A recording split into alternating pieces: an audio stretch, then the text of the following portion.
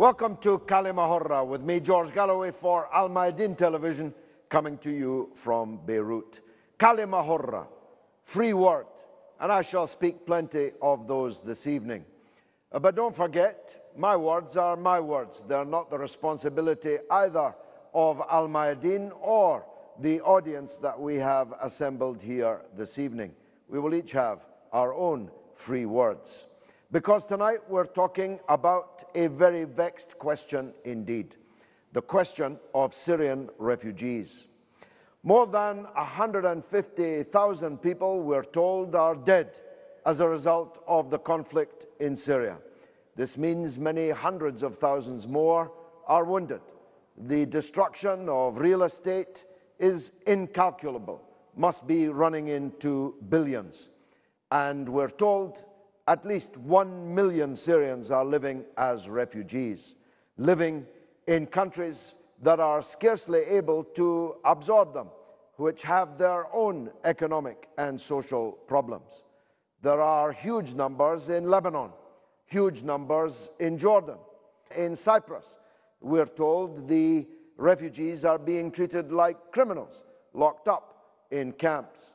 We see pictures, though not very often, on Western television sets of tents and trailers stretching out as far as the eye can see. And there are many paradoxes in that story. One is that the countries that are paying the most to create and perpetuate the conflict in Syria are paying the least to deal with the refugee fallout of the conflict. Western countries who have encouraged the conflict from the beginning and turned their faces away from Kofi Annan's early attempts to bring it to a peaceful conclusion and which are always ready to rev up the engines and send in the bombers are not prepared to take many refugees. David Cameron, the British Prime Minister, uh, Francois Hollande, the French President, talk big but act very small when it comes to the admittance of Syrian refugees. And when they do, it's all hedged with qualifications about the condition that the refugee is in, even darkly what religion they are. So, this is a story with many paradoxes, many causes, and with many, many miles still to run.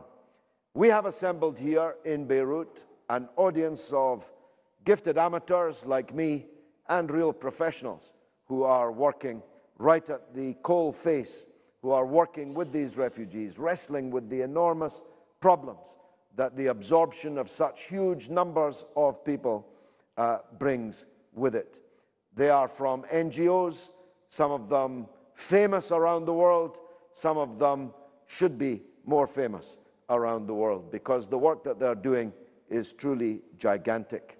They are coping with a war they never wanted, never caused, uh, but which other people who did cause are turning their faces from.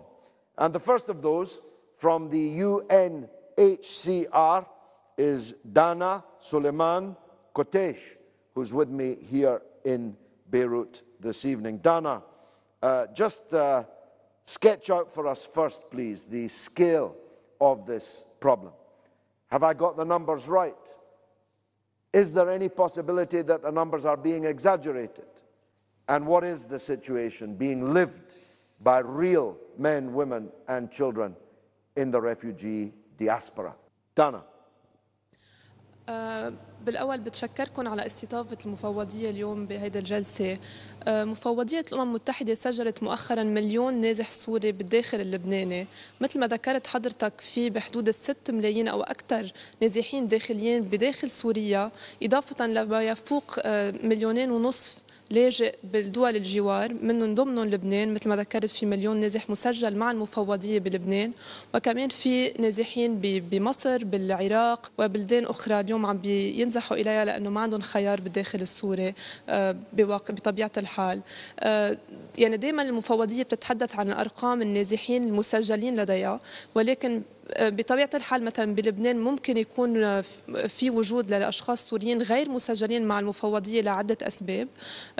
أما بيكون خيار شخصي منهم بحاجة لمساعدات عندهم تخوفات معينة إنه يتسجلوا مع المفوضية. ودورنا نحن هون بلبنان وبدول الجوار هو إنه نوعي النازحين والسوريين بشكل عام يلي بحاجة لمساعدة عن وجودنا بلبنان عن سرية التسجيل وعن كيفية التسجيل وبطبيعه الحال كمان المساعدات اللي بيحصلوا عليها النازحين مجرد إنه يتسجلوا مع المفوضيه.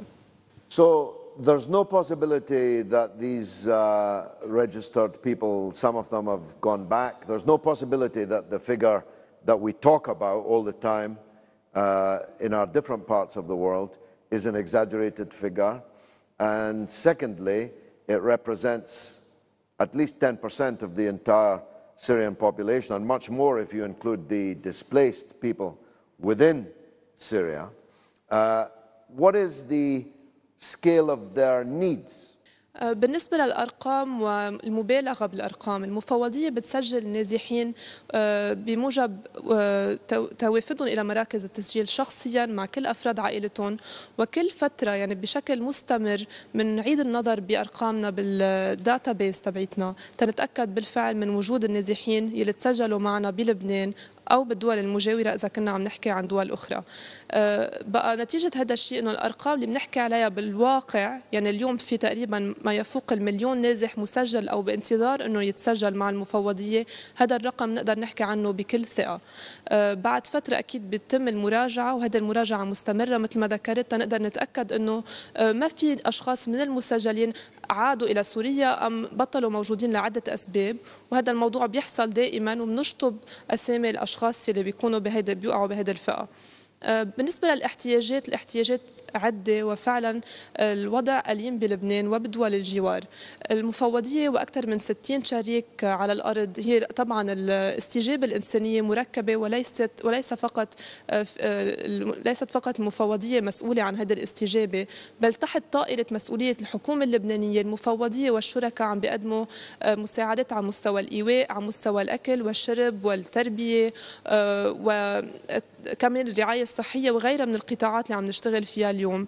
بعتقد بكل من هيدي الفئات اللي تحدثت عنها في احتياجات كتير كبيرة المفوضية وشركائها ما عندهم التمويل الكافي. اليوم نداء تمويلنا الأخير اللي كانت بتبلغ قيمته 1.89 مليار دولار للبنان للحكومة اللبنانية وهيدي المنظمات فقط 13% منه ممول. بطبيعة الحال هذا المبلغ اللي وصل للبنان بسنة 2014 غير كافي للتخطيط للمدى البعيد ولتلبية كافة الاحتياجات ونتيجة هذا الشيء هو وجود نازحين بلبنان مسجلين ولكن نحن غير قادرين أنه نغطي كافة احتياجاتهم. وضعهم صعب جدا. There seems to be, as there is in every uh, disaster, uh, man-made or natural, a huge discrepancy between the amount of money being pledged in headlines, in news conferences, and so on, by countries around the world, and the money that's actually arriving uh, on the ground. Is that the case here, and what is the discrepancy? نداء ما قبل الأخير اللي كانوا أطلقوه المنظمات الإنسانية والحكومة اللبنانية بشهر حزيران 2013 وصل من خلاله هذا النداء تقريبا 900 مليون دولار للبنان. هذا المبلغ أكيد مهم وساعدنا أنه نلبي احتياجات عدة بلبنان لأكثر من نصف مليون لاجئ بطبيعة الحال لأنه كان التمويل منه كافي ومكتمل ما وصل لل 100% بل كان واصل بعتقد لل 50% قدرنا نلبي احتياجات الأشخاص الأكثر استضعافا بلبنان وركزنا عليهم. هلأ هذا التمويل لازم دائما نركز عليه إنه وصل إلى لبنان ولكن اللي بنضلنا نعيده هو إنه وتيرة وصول وتوافد النازحين إلى لبنان وتسجيلهم مع المفوضية. اليوم عم نسجل أكثر من نازح واحد بالدقيقة الوحدة. آه عم بيصير بشكل أسرع بكثير من وصول التمويل إلى لبنان. وهون التحدي الحقيقي اللي عم يعجز المنظمات الإنسانية عن الوصول إلى النازحين بشكل كافي وكمان للمجتمعات المضيفة اللي هي اليوم كمان متأثرة بوجود النازحين خاصة بالمناطق الفقيرة جدا اللي هي أكثر المناطق اللي عم تستضيف نازحين بلبنان. You're still receiving them uh, one every minute. I'll tell you why I ask. I spoke to a very highly respected person last night. He told me that he had just gone to Damascus and there were more people going into Syria than there were uh, coming out. Uh, of course, they could be coming uh, across different parts of the border, but you're certain that still one refugee every minute is leaving Syria for Lebanon. عم بتحدث عن الأشخاص اللي بيتسجلوا مع المفوضية. يعني بقدر أقول لك بكل ثقة إنه كل دقيقة أكثر من لاجئ واحد بيتسجل مع المفوضية آه، بالداخل اللبناني من بعد ما يكونوا وصلوا يمكن من أسبوع أو ثلاث أسابيع أو أشهر. بيختاروا يتسجلوا عندما فعلا يعني يستنفذوا مدخراتهم بلبنان أما عند وصولهم لأنه بيكونوا فعلا بحاجة لمساعدة. بالنسبة للواصلين من عبر الحدود ما بنقدر نحصي هذه الأرقام بشكل دقيق. بعتقد إنه السلطات اللبنانية بتقدر تتحدث عن هذا الموضوع بسلطه أكبر. Let me ask you one last question then.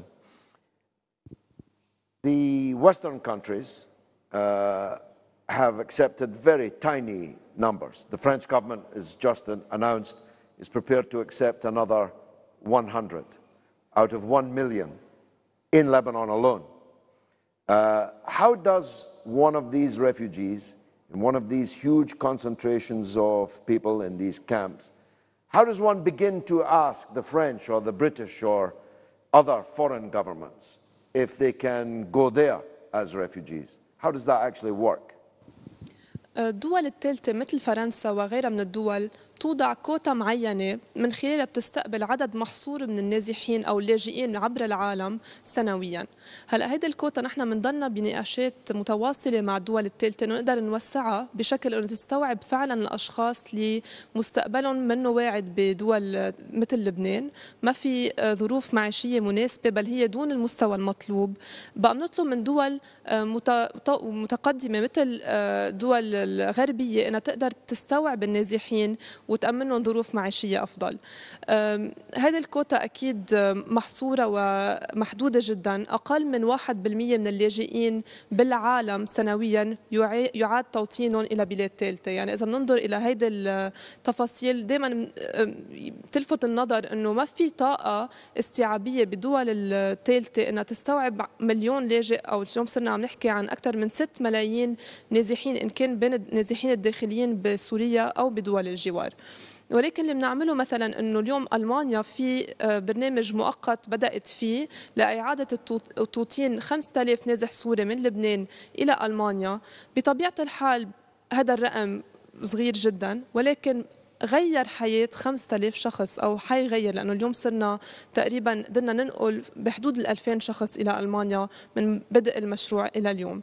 عم ندعي دول ثالثة مثل ألمانيا أنه تفتح آه، لاستقبال النازحين السوريين بلبنان لأنه عم بيعيشوا ظروف فعلا فعلا صعبة. من بعد ما يكونوا خسروا أفراد عائلتهم منازلهم بيوتهم ممتلكاتهم يعني فعلا الخسارات آه، فاضحة. وبالمقابل ظروف المعيشة اللي عم يوصلوا لها اليوم بائسة جدا. عم عم بيشعروا فعلا ب آه، يعني عم يفقدوا الرغبة بالحياة. يعني فعلا وصلنا لمرحلة صعبة جدا. وندائنا هي صرخة لهذه الدول إنها تقدر تساعد لبنان وما تتركه لوحده بظروف مثل هاي. Thank you, Dana. That's been uh, very uh, helpful. Now, One of the phenomena that has been quite widely reported is the particular plight of women uh, refugees. The allegations of uh, sexual molestation, of uh, more or less forced marriage, certainly exploitative uh, marriage, uh, has traveled as a story uh, around the world. Jihan Esaid is the coordinator of the Safe House Project for female victims of domestic uh, violence, which is the Abad Association. Jihan, what would you like to uh, say on that? Please. Okay. Uh, مساء الخير uh, بشكر استضافتكم آه نحن بمؤسسة أبعاد آه صرنا تقريبا من شهر أوغست آه مفتتحين مركز الدار الآمن اللي هو استقبال. السيدات والفتيات الناجيات من العنف وهذا المركز هو إجا استجابة للأزمة السورية ونظرا للحاجة القوية يلي بينت من خلال تنسيقنا وعملنا الدايم مع المؤسسات الدولية مثل منظمة مفوضية السامية لشؤون اللاجئين مفوضية الدنماركية لشؤون اللاجئين مؤسسات تانية الحاجة أكيد موجودة ونحن من شهر أوغست لهلأ صرنا مستقبلين آه، فوق ال 50 ل 60 سيدة مع أولادها.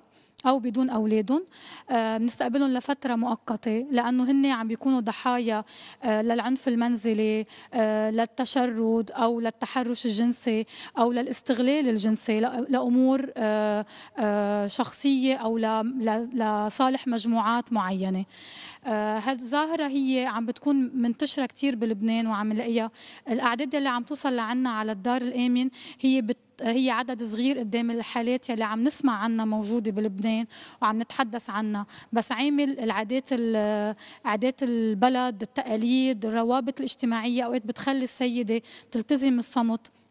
وتفضل إنه يبقى آه، مرتبطة بعائلتها وتتحمل الأمور الضغوطات يلي عم بتصير عليها والعنف يلي عم بيصير على إنه تكسر لأنه هي بتصير النظرة لها هي نظرة سيدة مهمشة. آه، سيدة بتكون فقدت يمكن اعتبارها ومكانتها ضمن بيئتها وضمن مجتمعها. آه، نحن بالمركز بنكون عم نأمن استقبال لفترة معينة لنلاقي الحلول الدايمة بالتنسيق مع شركائنا. خلال تواجدهم بيكون في متابعة اجتماعية متابعة نفسية متابعة صحية آه، توعية على حقوقهم توعية على واجباتهم ونساعدهم ليرجعوا يفكروا وينطلقوا من جديد بحياتهم بطريقة آه، بعيدة عن العنف آه، يعرفوا كيف يطالبوا بحقوقهم بطريقة صحيحة ويقدروا يوصلوا لهالحق بشكل سليم. And what do you make of the constant stories of men actually arriving Uh, sometimes from other countries, uh, where the refugees are, and preying opportunistically on young women, uh, taking them often without uh, proper compensation and so on, into what are more or less forced marriages. Is that accurate? آه، هالشيء أكيد موجود والزواج القصري أو زواج المبكر هو ظاهرة هلأ كثير عم نسمع عنها وهي صحيحة. وكمان عم نلاحظ كمان من خلال أغلبية التقارير إنه العمر تبع الزواج المبكر أو الزواج القصري للفتيات القاصرات هو عم بيكون بتراجع. يعني قبل يمكن كنا نسمع عن فتيات بأعمار ال 15 أو 14 سنة عم نسمع عن زواج فتيات بعمر 12 و11 سنة. هالشيء مرده إنه الضغط الاجتماعي والصعوبات الاجتماعية والاقتصادية يلي عم بيواجهوها النازحين واللاجئين السوريين أو أي لاجئ أو أي نازح ممكن يوصل على بلد تاني عم بتخلي الروابط العائلية عم ترجع بصير في انعكاس بالأدوار الاجتماعية. يعني الأمرأة هي ممكن تقدر أكثر يكون عندها سهولة لتلاقي عمل الرجل بحكم إنه هو ما عنده الإمكانية للتجول أو بخاف من التجول بالاراضي اللبنانية لأنه مهدد أكثر إنه يتم توقيفه أو يصير احتجازه آه، بطريقة تعسفية لأنه ما معه أوراق ثبوتية. هذا الشيء عم بخلي السيدات أكثر كتكون فئة مستضعفة وعرضة للتهميش وعرضة للاستغلال الجنسي آه، أو لحتى حتى البي يمكن ليحمي حاله ليحمي عائلته لياخذ فائده مادية أو فائده اقتصادية من الأشخاص اللي عم بيستضيفوه. بيقبل بزواج بنته القاصر مع رجل بيكبرها بالسن ولو هو مش مقتنع بهالموضوع أو يمكن يكون عن قناعة لأنه البيئة أو مجتمعه هيك هيدا هو تعود عليها. فالضغوطات الاجتماعية والاقتصادية. التروما يلي بيتعرضوا لها العيال بمجرد ما انتقالهم من بلدهم لبلد ثاني بطريقة هن ما اختاروها فرض عليهم هالشيء هيدا بيأثر على ديناميكية العائله وعلى على آه، نظرة كل شخص للآخر بقلب العائله وهذا بيسبب خلل وانعكاس الأدوار وخلل بالتواصل. بصير التواصل عنيف ممكن يكون ما يكون بقى تواصل سليم مع الأولاد أو مع مع الزوجة أو مع أي طرف من الأطراف Thank you, Jihan. truly miserable uh, story. Uh, now, Lama Jradi is the director of the Safe House Project South Branch of the uh, Abad uh, Association. Lama, where are you? Yes, please. What would you like to add to this miserable story that we have heard already? أوكي بالبداية مساء الخير. يمكن إذا بدي زيد بدي زيد قصص واقعية عم نعيشها. يمكن نحن أكثر مع السيدات اللاجئات مع ارتفاع كثير ملحوظ بدرجة العنف اللي عم يتعرضوا له هالسيدات. إن كان ضمن الداخل السوري ولا حتى ضمن الأراضي اللبنانية. لأنه العنف عم ببلش إذا بدك بالأراضي اللبنانية بالأراضي السورية مع مشاهدة العنف مشاهدة الحروب اللي عم بشوفوها حتى مع مع طرق النزوح السيئة طريقه على عبر الطرقات أو عبر أماكن الدخول على لبنان. بالإضافة للعنف المتزايد بين التجمعات السورية بالأماكن اللي عم يتواجد فيها السوريين نتيجة الضغوطات الكبيرة اللي عم بيعيشوها. عم نشوف إنه هالسيدة عم تتعرض لكم كتير كبير من العنف إن كان من من الروابط العائلية من الزوج من البي من الأخ وحتى من بعض المجتمعات المضيفة. إن كانت عم تروح تفتش على شغل تقدر تلاقي شغل عم تتعرض لتحرشات أو لمضايقات جنسية مقابل مقابل حصولها على المساعدات. آه، عنا بقلب الدار آه، عم بيكون في استوعاب بشكل كامل للوضع اللي عم بتعيشه السيدات إن كان وحدة أو مع أطفالها اللي عم نستقبلهم لأنه آه، نحن عم نبلش نكون عم نستقبل من حالات الاغتصاب للتحرش الجنسي للعنف الجسدي للحرمان من من الخدمات أو الفرص اللي ممكن تكون متاحة لها أو من بالنهاية في عنا كمان العنف النفسي اللي عم تتعرض له السيدة. آه، في فريق متخصص بقلب الدار عم بيكون عم بيتابع السيدة من من وقت دخولها لحديت آه، آه، إيجاد الحلول البديلة لها وفي متابعة مهنية حتى للأطفال اللي عم بيكونوا مترافقين معها لأنه حدة العنف اللي بيكون ممارس على السيدة بيكون بعد تأثيره أكبر بكثير على الأطفال لأنه ما عندهم قدرة على التعبير بشكل مباشر قد ما السيدة عندها قدرة على التعبير. Amma, thanks for that. Hassan Sayah from Caritas is also with us, another of the outstanding uh, organizations uh, working in this uh, field. Where is Hassan? Give us your uh, testimony, please. مساء الخير. وباسم كاريتاس لبنان مركز الأجانب بشكركم لاستضافتكم لنا أه، بحب أقول إنه كاريتاس مركز الأجانب أه، بلشنا عملنا أه، من أول ما بلشت الأزمة السورية بسنة 2011 وأكيد بعدنا مكملين بالتنسيق مع بقيه الجمعيات ومع مفوضيه الأمم المتحدة العليا للاجئين وأكيد بتنسيق جهودنا كليتنا سوا كمؤسسات مجتمع مدني الدولة اللبنانية والأمم المتحدة. إن شاء الله أكيد بنقدر نوصل أكثر تنلبي كل الحاجات. أكيد الحاجات كثير كبيرة يعني عم نقدر نلبي الأشياء الأساسية حتى وقت الأشياء الأساسية على كثره الأعداد ما عم نقدر نلبيها بسهولة وبطريقة سريعة. آه، كاريتاس متواجد بكل المناطق اللبنانية. عندنا آه، مراكز متواجدين بالشمال بالجنوب بالبقاع آه، بكل المناطق. نحن كل يوم كل مركز من من مراكزنا عم بيكون في عندنا أعداد هائلة من اللاجئين يلي عم توجهوا على مراكزنا. تقريبا بيكون في بكل مركز بين ال 150 ل 200 شخص عم بيكونوا متواجدين تيجوا يتسجلوا ويستفيدوا من مختلف المساعدات يلي كاريتاس عم بيقدمها.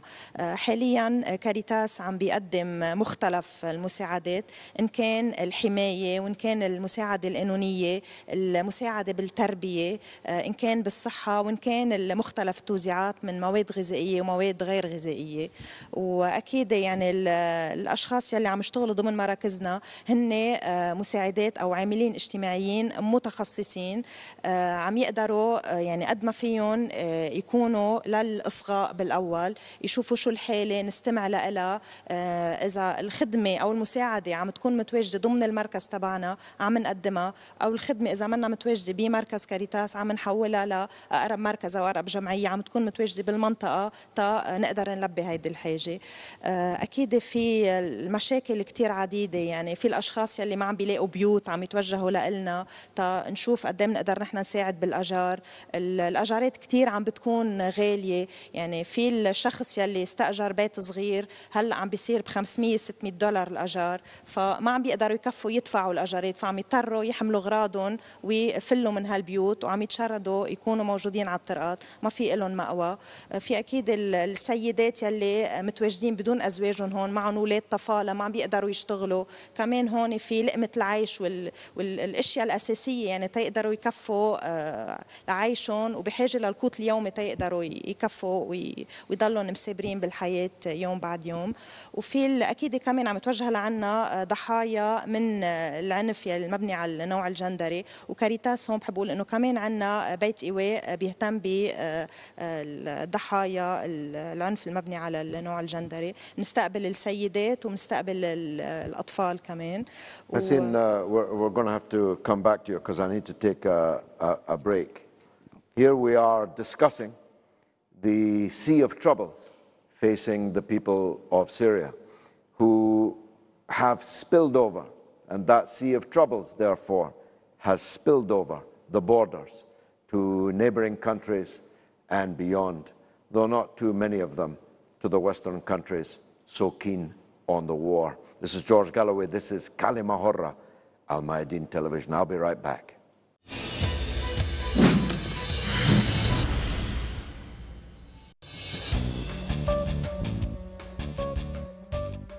You're watching Kalima Horra with me, George Galloway, for Al Mayadeen Television in Beirut.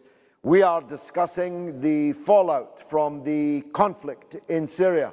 Most of the world's attention and most of the money goes to the fighting, to the weapons, to the maintenance of military force, and of course, secondarily, to the casualty figures inside Syria itself. But as we are discovering, millions of people have spilled over the borders as refugees, let alone the millions who are displaced inside Syria itself. Is it fair on countries like Lebanon, which already are and have been for decade after decade, scores of years, in fact, the host of hundreds of thousands of Palestinian refugees to be asked to cope with this kind of consequence from a war which was not of their choosing, but rather the choosing of other people. Let's hear from the audience. Yes, sir, in the front row, please. I'm afraid. I mean, are you asking me about the Palestinians? And, no, and I'm not. You don't have to relate yeah, to anything sure, I said. Because, Just uh, you say my, what okay, you want first to of all, say. let me introduce myself. I'm uh, Shant Kerbabian. I'm a journalist and an activist. Do you want to And- speak in Arabic, please? Okay, great, no problem. Alright. uh, اسمي شانت كيربابيان uh, act- ناشط وصحفي uh, وكمان سوري. So uh, هذا الشيء كتير بيخصني وكتير مهم الشيء بدي يعني الموضوع اللي عم تتحدثوا فيه شيء كتير مهم بالنسبة لي. Uh, كتير نقطة مهمة عم تحكوا فيها، كتير أول شيء بتشكر ال- الشعب اللبناني والدور الحكومة ممكن غير اللبنانيين حيتطرقوا له، أنا ما بدي حب أدخل بالموضوع، بس بحب أتشكر ال NGOs والشعب اللي الشغل اللي عم بيعملوه ال activists آه، شغل هائل. آه، بدي أقول شغلة كمان إنه آه، المشكلة كتير كبيرة. بس نحن عم نشك عم آه، تركيزنا عم بيكون على الوجع عم تركيزنا عم بيكون على المشاكل. بس ما عم نركز على ليش في لاجئين. انه في لاجئين لأنه في حرب في لاجئين لأنه في آه، في مشكلة كتير كبيرة ببلد اسمه سوريا بلد مركزي. فاهم شيء لازم يكون في ضغط يكون في pressure أو ضغط على على كل الداعمين. للحرب. أنا هذا الشيء اللي أنا بدي أحكي فيه أنا اللاجئين في كتير عالم عم بيعنوا بهالأمور. وهذا منه شيء آه هذا شيء واضح وموجود. بس الشيء اللي ما حدا عم بيحكي فيه إنه ليه ما نوقف ال funding أو الدعم المالي اللي عم بيصل لل للأط... كل الأطراف كل الأطراف المشاركة بهذا الصراع. ولن لن ما ححط أي حدا.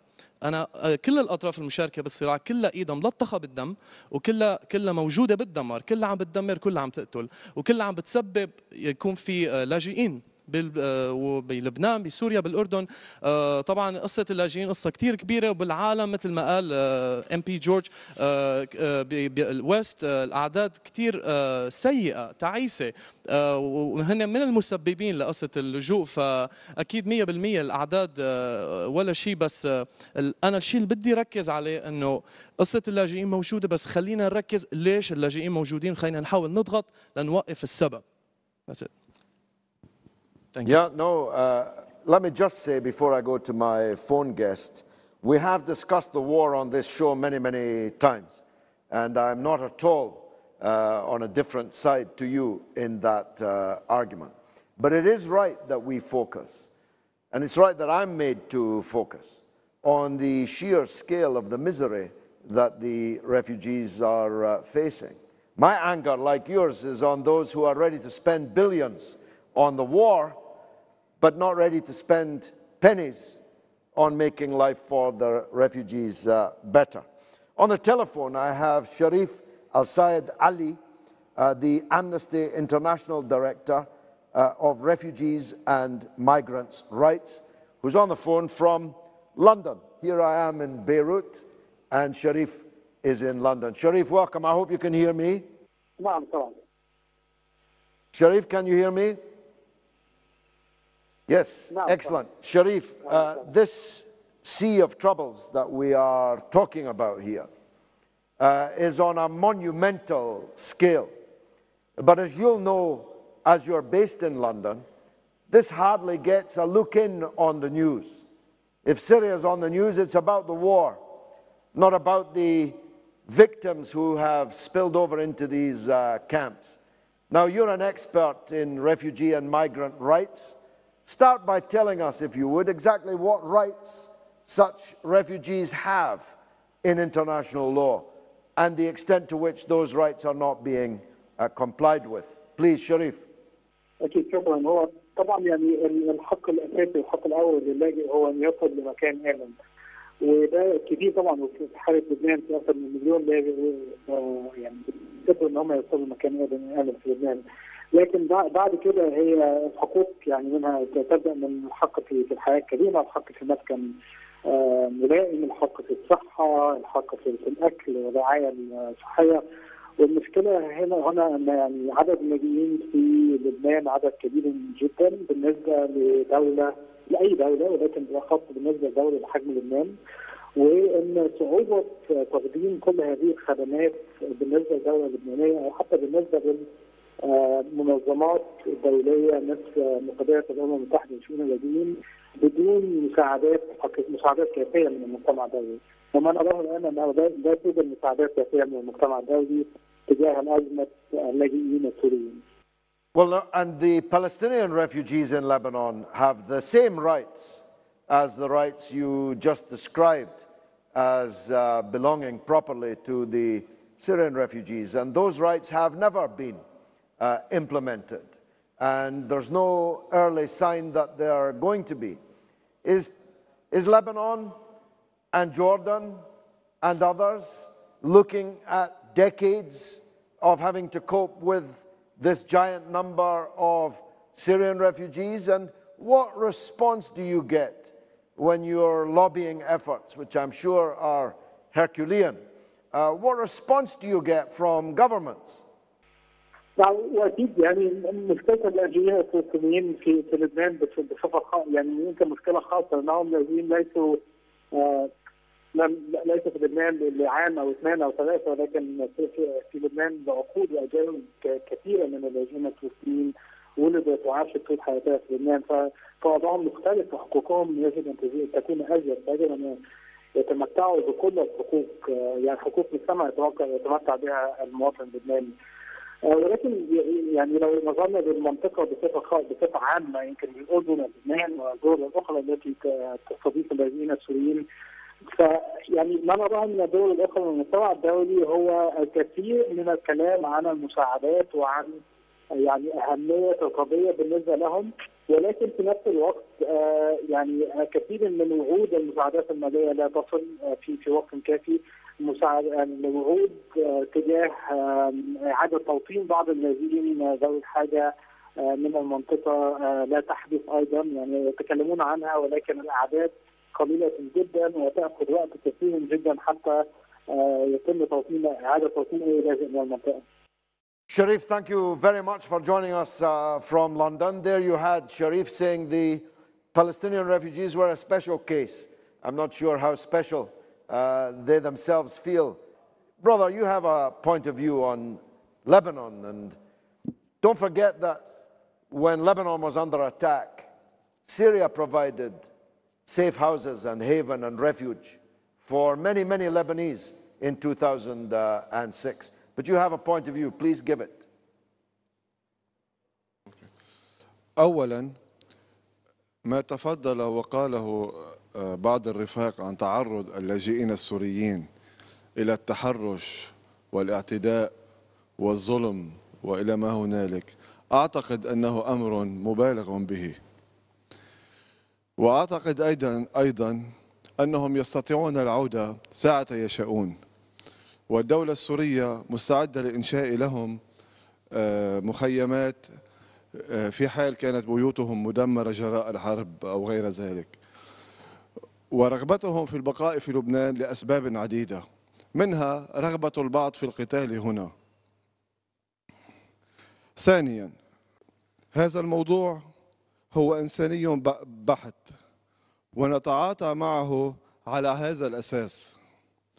ولكن هناك واقع فلبنان ليس بإمكانه من الناحية المادية واللوجستية والأمنية استيعاب ما يقارب ثلث عدد سكانه من اللاجئين وأعطائهم حق اللجوء. فعلى الدول التي حرضت ودعمت ماديا وعسكريا الثورة في سوريا وبغض النظر عن صوابية هذه الثورة أو عدمها على هذه الدول تحمل مسؤولياتها واستقبال اللاجئين وأعطائهم حق اللجوء. فبريطانيا مثلا هي أحد هذه الدول. فلماذا لا تطلبون من حكومتكم استقبال هؤلاء وأعطائهم حق اللجوء بدلا من أن ترمون بهم في بلدنا؟ وخاصة أن العديد منهم من الرعاع فبدلا من أن يحترموا قانون الدولة المضيفة حملوا السلاح واطلقوا النيران على قواتنا المسلحة. ما تسبب باستشهاد العديد من الجنود. ومعظم المعتقلين في قضايا التفجيرات التي حصلت وفي أحداث عبره وطرابلس أخيرا والبقاع هم من اللاجئين السوريين. أرجو منكم جوابا واضحا وصريحا. Brother, I'm not Balfour. and I'm not David Cameron. So don't hold me responsible for the crimes of the British, about which I'll speak more in just, in, just, in just one moment. I'll be right back.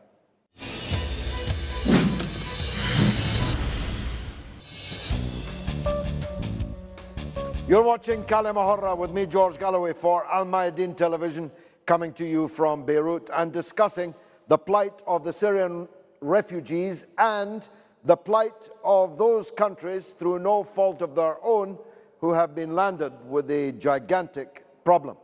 Before the break, we had some very controversial remarks uh, by one of our guests, and I, I guess we should welcome uh, controversy.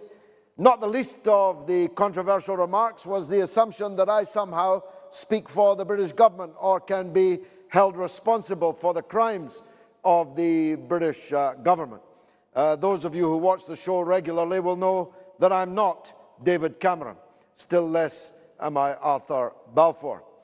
But, brother, these refugees that we're talking about did not come here to fight from Lebanon. These women in these safe houses that are the victims of abuse did not come here to fight from Lebanon.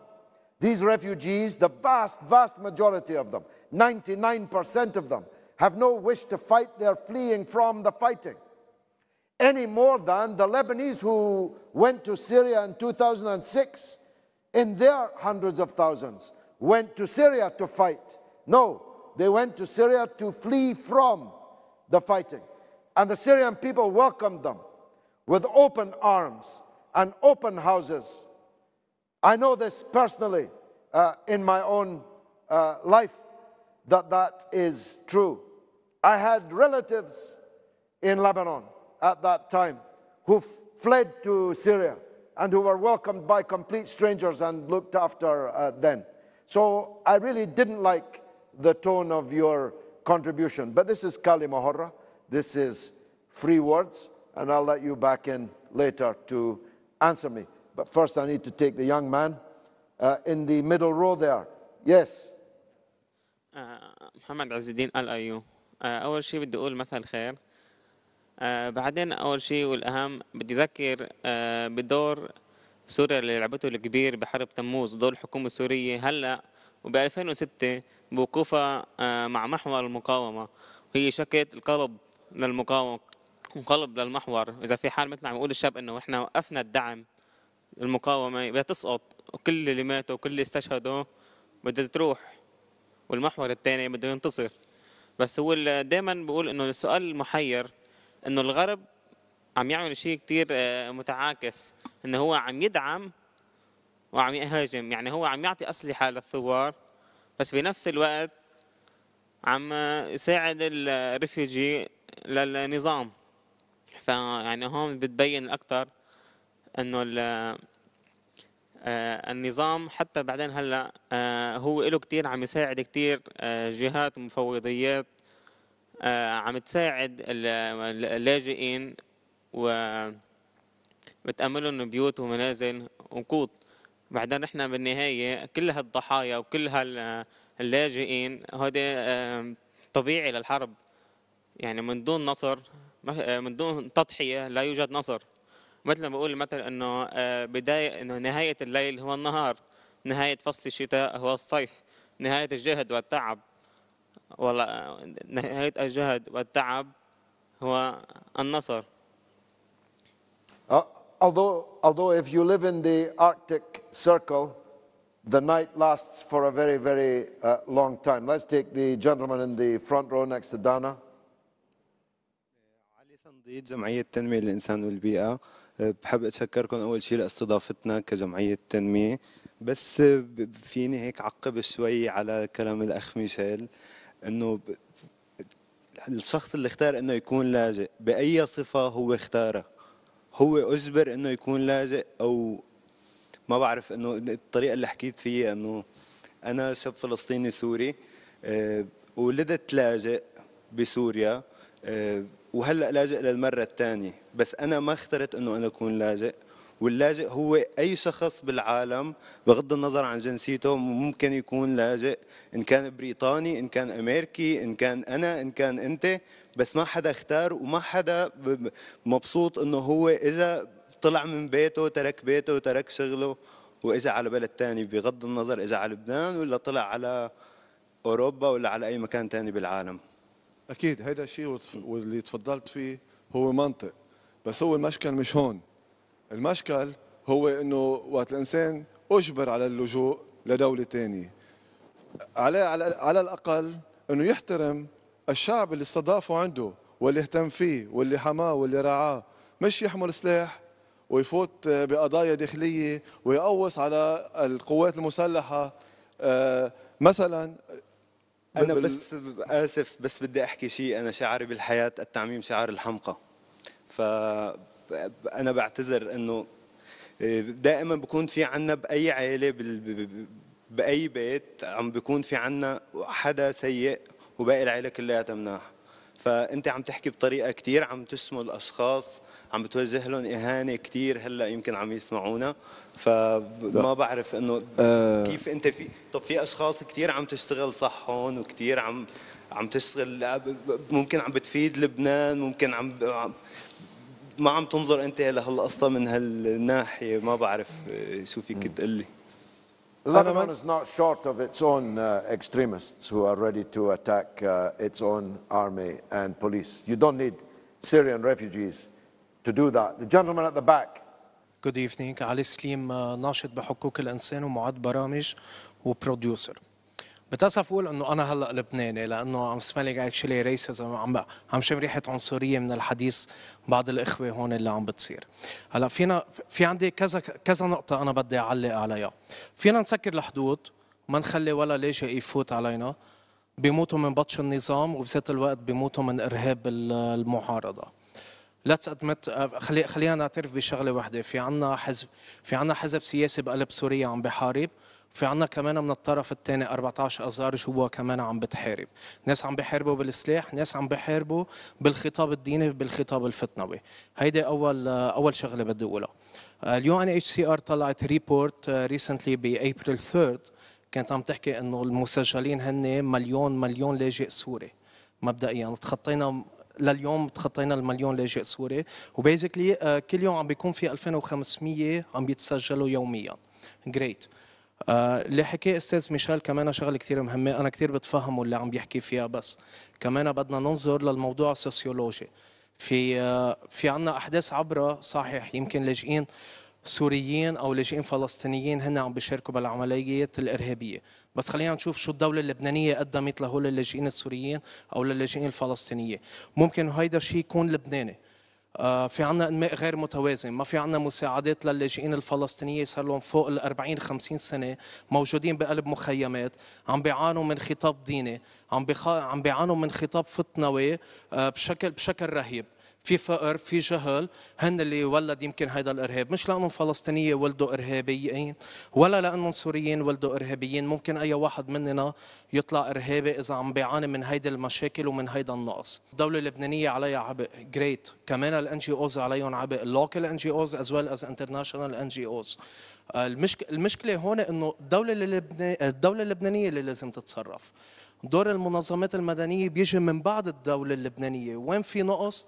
بتتدخل المنظمات المدنية. شغل شغل عم نشتغل نحن ب regional في regional conflict في في حرب إقليمية. الكل الكل محور فيها والكل لاعب فيها. ما فينا نقول الدولة اللبنانية توقف على الحياد. كيف بدنا نوقف على الحياد؟ ما نحن اوريدي صرنا جوا. نحن صرنا جوا. كنا 8 ولا 14 اذار صرنا جوا قاعدين عم نحارب. ما فينا نقول ابدا الدولة عليها عبء. الدولة عليها عبء. خليها تحمل مسؤولياتها وتقعد على جنب. تجيب هولي وتجيب هيدول وتقعد. بس بالنهاية نحن وين عايشين؟ على الأرض اللبنانية. يعني great الدولة اللبنانية من واجبها تتدخل. من واجبها تأمن آه، تأمن المسكن اللائم بالنهاية نحن أشخاص نحن إنسانيين. ما فينا نسكر الحدود. شفنا شو صار شو صار آه، بالشتوية الماضية. شو صار؟ كم واحد انقتل كم واحد مات كم طفل مات. نحن فينا نكون محلهم يا جماعة. كنا لبنانيين ولا فلسطينيين ولا سوريين. هذا اللي بدي أقوله. Thank you Let's take the lady at the front. آه، مساء الخير. مريم صالح طالبة بكلية الإعلام ثاني سنة.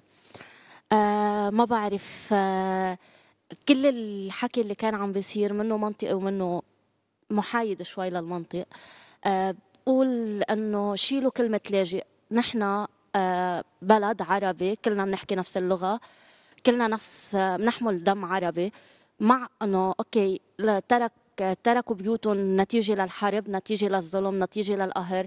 بس آه نحن كمان بحرب تلموز لبنانيه تهجرنا على سوريا وعلى أكثر من بلد وفتحوا لنا ابوابنا آه ابوابهم وساعدونا. مثل ما هن مثل ما هن ساعدونا كمان لهم حق علينا نحن نرد لهم حقهم. ما فينا نقول إنه لا نحن منا قادرين نتحمل كدولة لبنانية أو كشعب. بس بذات الوقت الشعب اللبناني هو كمان عم بيعاني من ظروف كتير صعبة بظل الأزمات الاقتصادية والاجتماعية اللي عم نعاني منها بظل البطالة اللي عم نعاني منها. كمان في شعب لبناني ما عم ما عم يطلع له صوت يحكي ويقول إنه أنا ما عم لاقي شغل، أنا ما عم بقدر أقعد ببيت، مثل أجارات البيوت اللي عم تعلى، مثل المعل... المتعلمين اللي عم ياخذوا اجازات وما عم بيلاقوا شغل، كمان ما عم بيلاقوا شغل وكمان هيدول الأشخاص عنده عبء على الدولة اللبنانية اللي هي أساسا ما عم بتطلع فيها. يعني الحكومة اللبنانية ما عم تطلع بأولادها. فكيف نحن عم نطلب منها تطلع بشعب لاجئ لعنا بهيدا المعنى؟ كمان إنه عم عم نحكي القضية الفلسطينية والقضية السورية. القضية الفلسطينية لما كنا عم لما لجأوا على لبنان هن أوكي لجأوا على لبنان لقوا آه، وغير بلدان تانية. آه، بس هن عرفوا عارفين من مين عم يتحاربوا مين استوطن أرضهم بس السوريين مين عم بيحاربهم؟ نحن العرب؟ مين؟ ما نحن عم نمولهم وعم ندعمهم؟ مش عم بحكي نحن يعني نحن الشعب لا نحن الوزراء النواب والرؤساء اللي نحن عم ننتخبهم. بس شاطرين نحكي عن تغيير. نحن الشباب بدنا نغير. نحن الشباب بدنا نحكي كلمة حرة. وين الكلمة حرة طالما هي حلم؟ أنا بقولها هون. وبعد ما أظهر ما بعمل شيء. ما أنا لما بلش من نفسي okay في مح... في نشاطات وجمعيات خجولة بعتبرها بالنسبة للأشياء الواقعية اللي عم بتصير على الأرض.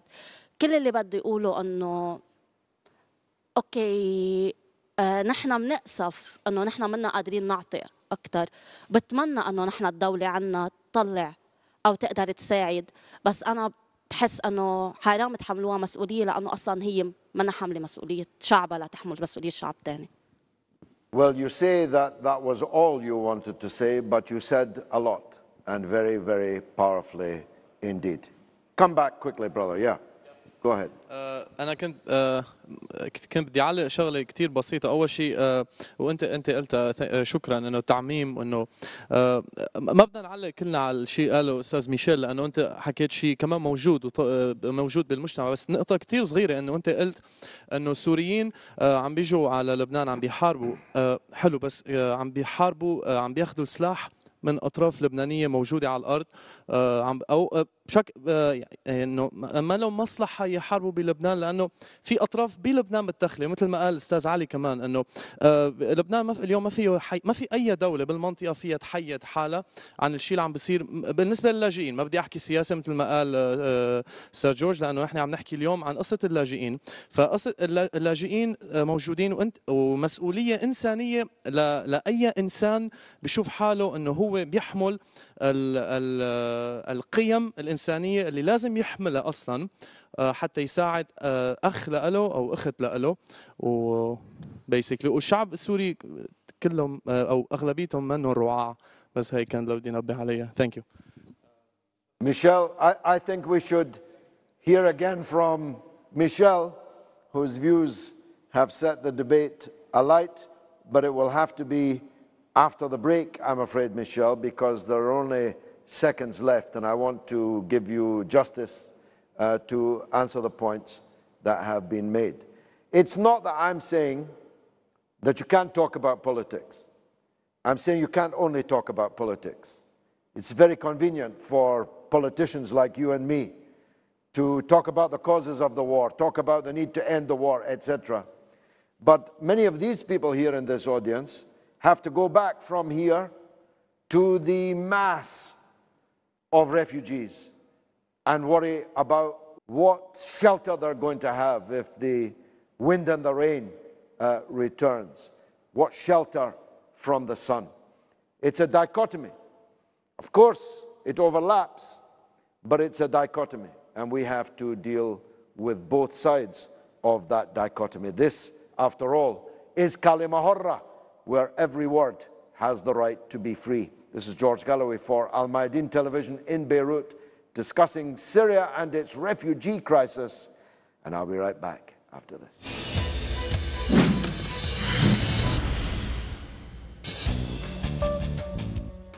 You're watching Kali Mahora with me, George Galloway, for Al Mayadeen Television in Beirut. Debate is raging, as indeed it must, on the plight of the Syrian refugees, not least in Lebanon, where Michel has a very distinct point of view. Go ahead, Michel. بالأول أنا ما قلت إنه الشعب السوري رعاع بالعكس الشعب السوري هو شعب صديق وشقيق بتربطنا علاقات كثير وأنا شخصيا بتربطني علاقات كثير جيدة بالعديد من الأصدقاء السوريين أنا اللي قلته إنه جزء من اللاجئين هن من الرعاع جزء منهم أه وأنا بعطيك وقائع بأحداث عبرا عدد المسلحين اللي قتلوا من الجنسية السورية غير الفلسطينية هن 30 والعدد الموقوفين هن 40 بأحداث عبرا بأحداث طرابلس امبارح بالخطة الأمنية عدد الموقوفين من المحاور هن 150 في 70 سوري منهم. 70 سوري يعني بكل الأحداث عم بيقارب العدد النص. وهن لاجئين استقبلناهم نحن. أه تبين بأحداث طرابلس إنه نحن ما في مشكلة بين اللبنانيين بين بعضنا. وهذا الشيء اللي صدم الجميع. المشكلة انه اللاجئين هن عاملين هيدي هيدي المشكل لينقلوا الثوره من سوريا على لبنان وبين آه، بش للرأي العام إنه نحن بطرابلس عم نتقاتل مع بعضنا والواقع غير هيك آه، Yeah, look, uh, of course what you say uh, may be accurate, but 70 out of 1 million plus uh, is a very small uh, percentage. The gentleman at the, in the back row. محمد قضيات كاتب صحفي وناشط حقوقي أه بحب بلش بالنقطة اللي ذكرت أكثر من مرة وهي أه الحق إنه نحن نستقبل اللاجئين السوريين بما إنه استقبلونا خلال حرب تموز. أكيد هذا حق وهذا مش بس حق هذا واجب إنسان لازم نحن كلبنانيين نعمله تجاه إخواتنا السورية. ولكن لازم نكون شوي منطقيين بالموضوع إنه نحن ما فينا نستقبل هذا العدد الكثير كبير حسب آه، أرقام الأمم المتحدة اللي هو مليون. رغم إنه وزارة الشؤون الاجتماعية السورية أكدت إنه الرقم مش مليون بل مبالغ جدا بأمره وهو يستخدم في الاستثمار السياسي بل هو العدد 500 ألف لاجئ سوري. لأن كما شاهدنا على شاشات التلفزة وفي المقالات الصحفية أن هناك عدد كبير جدا من اللاجئين السوريين عادوا إلى ريف دمشق بالأخص بعد تحرير المناطق على يد الجيش السوري العربي. آه، بينما في موضوع حرب تموز 2006 فكان الوضع مختلف جدا.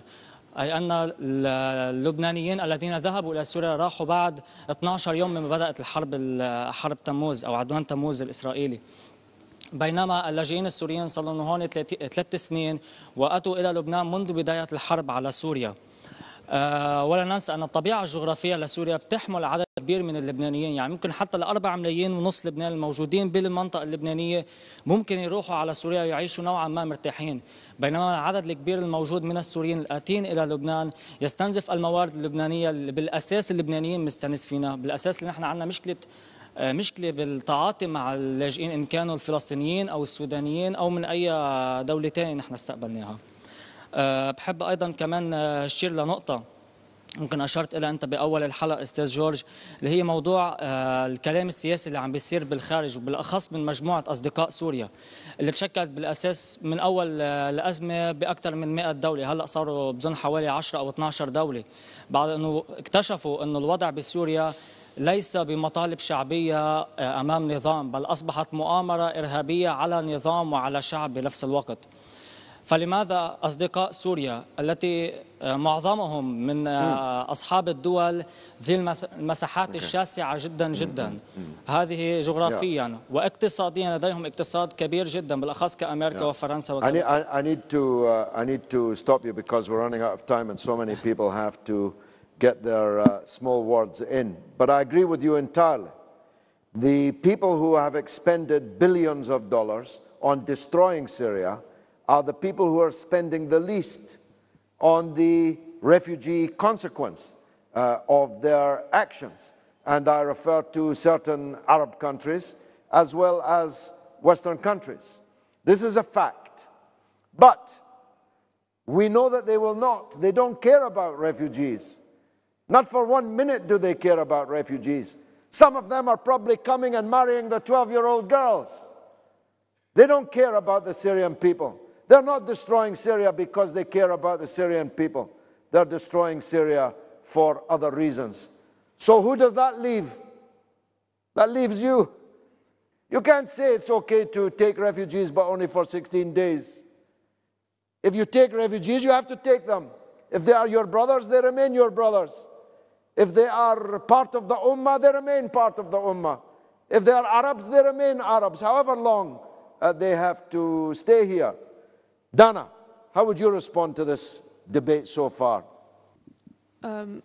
يعني عموما أنا سعيدة جدا إنه معظم الناس اللي الشباب اللي موجودين اليوم عم يتحدثوا عن الموضوع بانفتاح وبرحابة صدر وعلى وعي عن التحديات اللي عم بيعيشها لبنان وعن واقع اللاجئين السوريين بلبنان بحب أعقب على بعض النقاط اللي انذكرت مثلا بالنسبة للأرقام اولا وجود مليون نازح سوري هو مثل ما ذكرت نازحين مسجلين مع المفوضية. يعني نحن ما بنقدر نحكي عن هذه الأرقام آه، بطريقة غير موثقة بل عندنا آه، مثل ما ذكرت آه، معلومات دقيقة عن وجودهم شخصيا ووصولهم شخصيا إلى مراكز التسجيل إن كان بالبقاع بالشمال ببيروت أم بجنوب لبنان. هلأ حتى مثل ما تحدث الشاب هون الحكومة اللبنانية بتتحدث عن أرقام بتتعدى المليون آه، مليون لاجئ بلبنان. ما. ما بتكون مش منا أوطى من هذا الرقم. يعني على القليلة موجود مليون نازح سوري بلبنان ونحن بنراجع هيدي الإحصاءات نتاكد منها بشكل مستمر. أكثر من 78% من النازحين المسجلين هم من النساء والأطفال. وبطبيعة الحال المفوضية لأسباب إنسانية آه، قانونية دولية ما بتسجل المحاربين. بطبيعة الحال كل شخص لازم يتسجل بده يكون إذا كان محارب تخلى بشكل حقيقي ودائم عن سلاحه. وبطبيعة الحال بما أنه معظم النازحين أكثر من 75% هم من النساء والأطفال أكيد هن غير محاربين وفعلا لاجئين إنسانيين بحاجة لدعم إنساني بالداخل اللبناني. بقى هذه الحقائق تتحدث عن نفسها. بشكل عام بعتقد إنه آه، النقطة الأساسية اللي الكل تحدث عنها هي ضعف البنى التحتية بلبنان وقدرات لبنان على تحمل عبء آه، أو كارثة إنسانية بهذا الحجم. في حاجة لدعم أكثر آه، أكبر.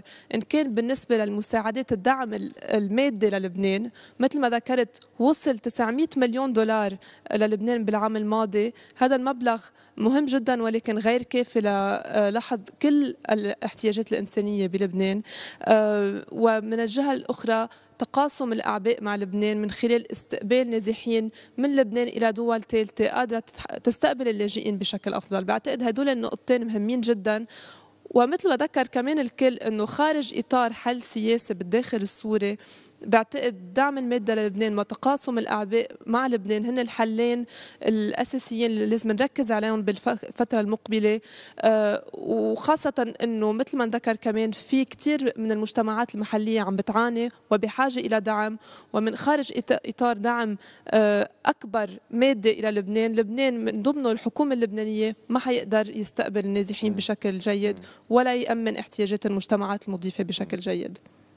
You're the leader from the DPNA uh, group here. Let's, let's hear uh, some final words from you. بس بدي أعرف أكثر عن الجمعية. نحن جمعية تنميه صار لها شغالة بلبنان من 2003 بس هلأ من خلال الأزمة السورية صار جزء كبير من عملها عم يشتغلوا على موضوع إغاثي. فأنا بشتغل منسق على مشروع ووش. مع مجمعات بجنوب لبنان. نحن عم نشتغل على صعيد لبنان كافة.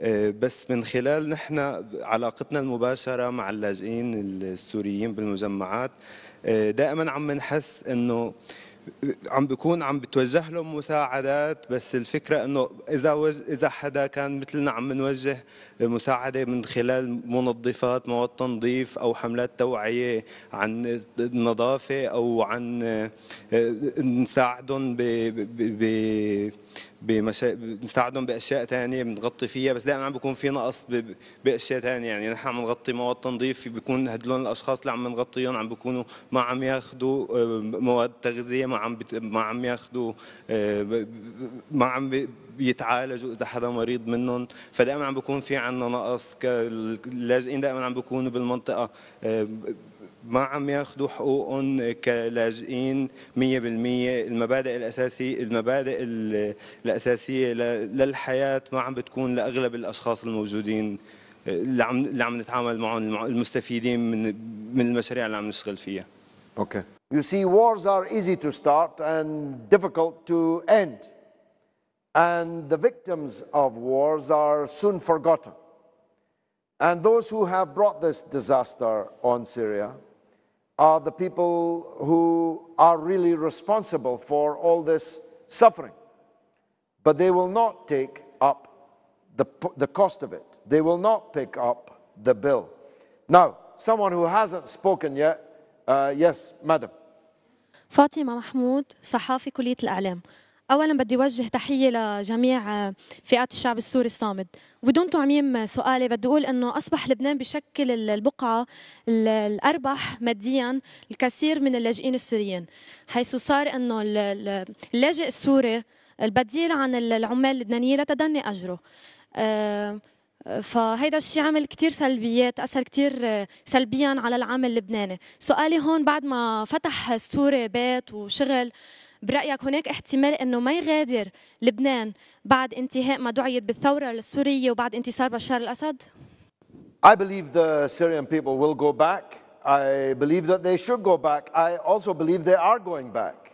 Uh, I'm not at all doubting your figures. I'm sure they are accurate. Uh, but I also believe that as the military situation improves, uh, that the Syrian people will return to their country uh, so. more and more. This, uh, this I believe. Uh, yes, someone who hasn't spoken, go ahead. لوخاي أنصو كلية الإعلام أنا بدي أحكي شوي عن نحن عم نحكي عن المشكلة بدنا نحكي عن الم... بدي أحكي شوي عن المسبب. شو اللي وصل سوريا لهلأ وشو اللي وصل سوريا لهذا ال- الوقت وهود اللاجئين والأعداد الكبيرة. أنا اللي بقول إنه كذبة الديمقراطية هي اللي هي, اللي وصلت لهون. سوريا كان عليها مؤامرة من اليوم الأول. بما... بما يسمى الثورة السورية. أه وبدي أستشهد هون بقول لكريكي تريك المستشارة في إدا... آه، في إدارة الرئيس ريغان سابقا آه، وممثلة أمريكا في الولايات المتحدة في الأمم المتحدة. قالت أن الديمقراطية مجرد لعبة لتحقيق مصالح الغرب وأن قيم الغرب وسياسته خاضعة للعبة آه، للعبة المعايير المزدوجة.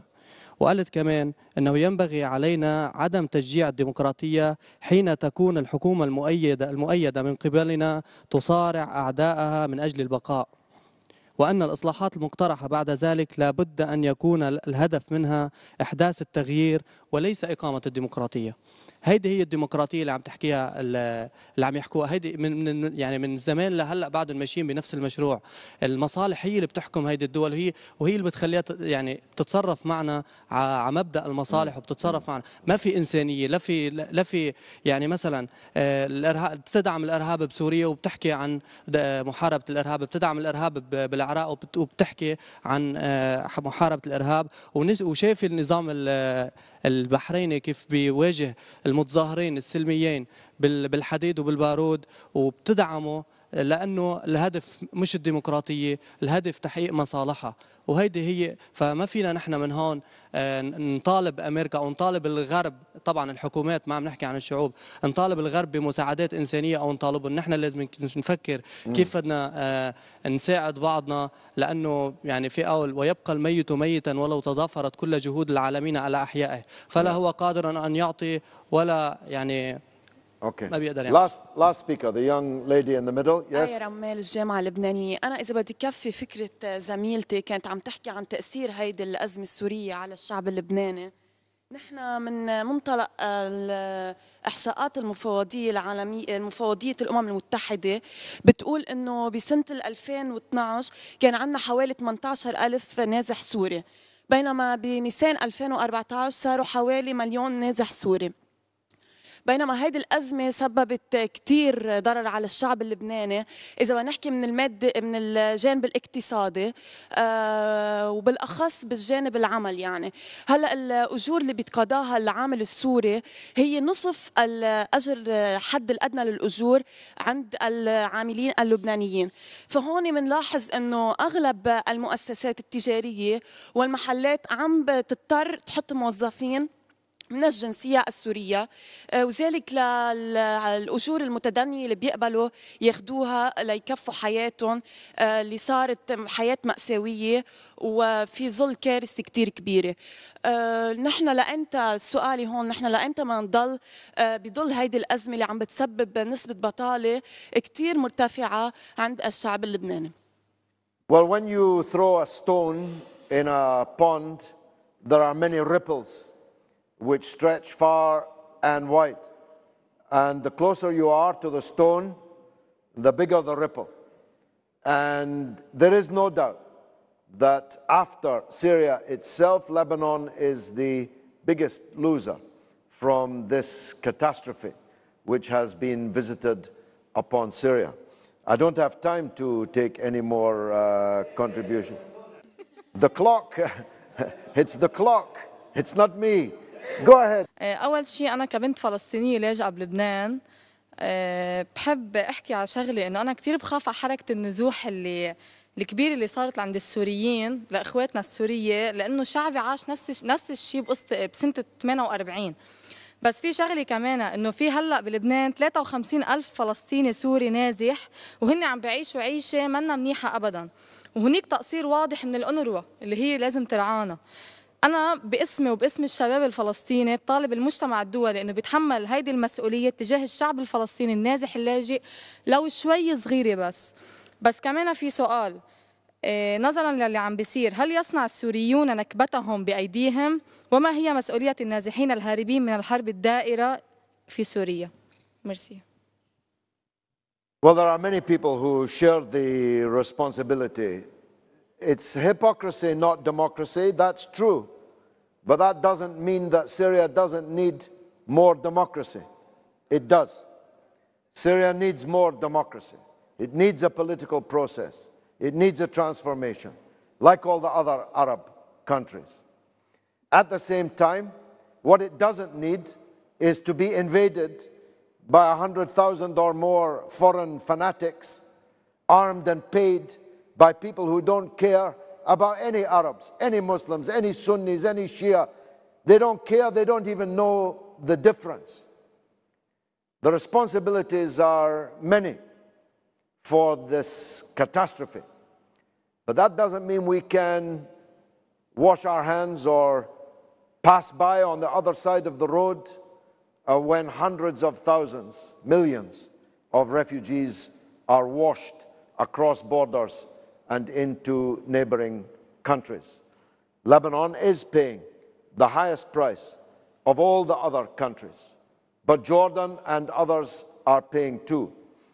And those who are most responsible for the disaster are paying least of all.